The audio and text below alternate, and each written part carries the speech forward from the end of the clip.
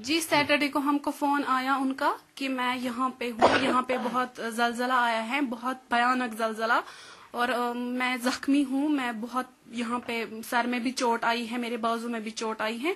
उसके बाद हमें कांटेक्ट नहीं हुआ। इसके बाद फिर दोबारा फ़ोन किया और बोला मैं अभी टीचिंग हॉस्पिटल में हूँ लेकिन यहाँ पे अभी उतना मेरा इलाज नहीं हो पा रहा है।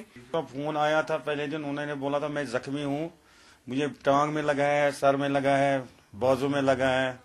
वो बहुत परेशान है पता नहीं है उनके साथ। क्या हुआ वो बोल रहे हैं मुझे यहाँ हॉस्पिटल में भेजा है तो यहाँ तो कोई फैसिलिटी नहीं है। वो बहुत परेशान है उनके पास कुछ नहीं है ना कपड़ा ना कुछ बिल्कुल कुछ नहीं है उनके पास ना पैसे है। वो जो पासपोर्ट है उसको वो भी डूब गया सामान जो था उसके पास वो भी डूब गया। वो, हम बहुत परेशान है हम अपने बच्चे को देख लें तो कब से आपका बेटा नेपाल में काम कर रहा था? कम से कम उसको तो चार पाँच साल से वो काम कर रहा है उधर। तो आपको गवर्नमेंट से क्या वो हमारा बहुत गवर्नमेंट से उम्मीद है कि मतलब वहाँ मुफ्ती या मुफ्ती गवर्नमेंट भी है या मोदी साहब है हम बहुत अपील कर रहे हैं गवर्नमेंट को। हमारा बच्चा वापस वहाँ से ला के दो।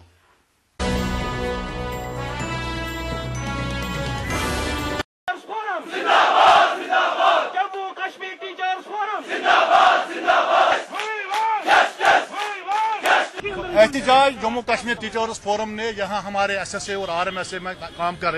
हज़ारों उस्ताद पिछले आठ महीनों से तनख्वाहों से महरूम है। इस सिलसिले में हमने एच आर डी मनिस से भी बात की। यहाँ धरने भी हुए प्रोटेस्ट भी हुए, हमारे आर टी टीचर्स पर लाठीचार्ज भी हुआ, हम पर भी लाठीचार्ज हुआ। पिछले आठ महीनों से हमारे टीचर तनख्वाहों से महरूम है। और एच आर डी मिनिस्ट्री ने बिल्कुल बेरुखी का मुजाहरा किया। और जो स्टेट गवर्नमेंट है, यहाँ का फाइनेंस डिपार्टमेंट यहाँ की पूरी सरकार, ये बेहिसी और बेबसी का मुजाहरा कर रहे हैं। और हमारे उसातिजा के बच्चे भूखे मर रहे हैं, उनको स्कूलों से निकाला जा रहा है। वो तो उनके वालिदीन बीमारी के हालत में, उनको दवा के लिए पैसा नहीं मिलता है। वो बिल्कुल मतलब मेंटल ट्रोमा में आ गए हैं। आज तक हमने सोचा था कि हम बच्चों का कीमती वक्त बच्चे हमारे मुस्तकबिल है। इसके साथ कोई कम्प्रोमाइज नहीं। और हमने फैसला किया था, हम क्लास क्लास वर्क मतलब हम पर होने नहीं दे देंगे। क्लास वर्क पर इसका कोई असर होने नहीं देंगे। अब हमारे चूल्हे बुझ गए हैं। अब हमारे बच्चों को स्कूलों से निकाल रहा है। अब हम जही मरीज़ हो चुके हैं। और अब हमने फैसला किया है 12 और 13 मई को रियासत के तमाम तालीमी इदारे काम छोड़ हड़ताल पर रहेंगे।